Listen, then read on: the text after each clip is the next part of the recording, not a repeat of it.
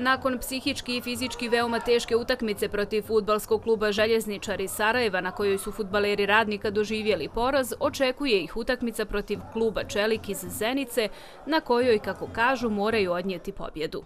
Ova ekipa ima karakter da da se nosi sa tim, to smo pokazali u utakmici protiv Tuzla City, kad smo također po znacima navoda morali da dobijemo i dobili smo vrlo lako.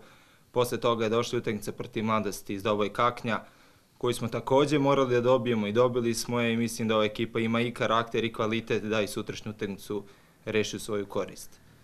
E, znamo da Čelik dolazi oslabljen e, odsustvom Jamaka i Husein Bašića, dvojica vrlo bitnih igrača, ali to opet nam stvara dodatni pritisak, sumnjam da će to opustiti naši igrači. Igrački kadar futbalskog kluba Radnik dopunjen je krilnim napadačem Vilinom Posinkovićem.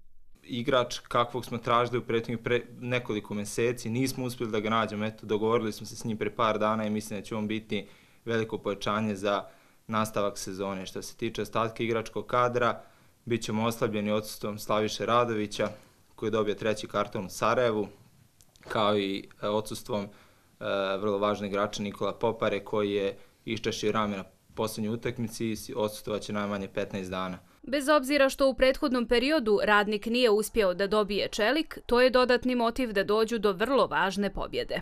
Dolazi nam čelik, uvijek neugodan protivnik po nas, kao što je moj trener rekao. Nismo u zadnje tri utakmice dali go, imperativ nam je sutra pobjeda. Nadam se da ćemo je stvariti, da se iskupimo za lošu igru protiv željezničara. Stvarno nemamo za čim žalati, nagravad smo bili loši, nadam se da ćemo sutra popraviti dojam da ćemo pobijeti Čelika. Futbalski duel između futbalskog kluba Radnik i futbalskog kluba Čelik odigraće se sutra na gradskom stadionu sa početkom u 16 časova.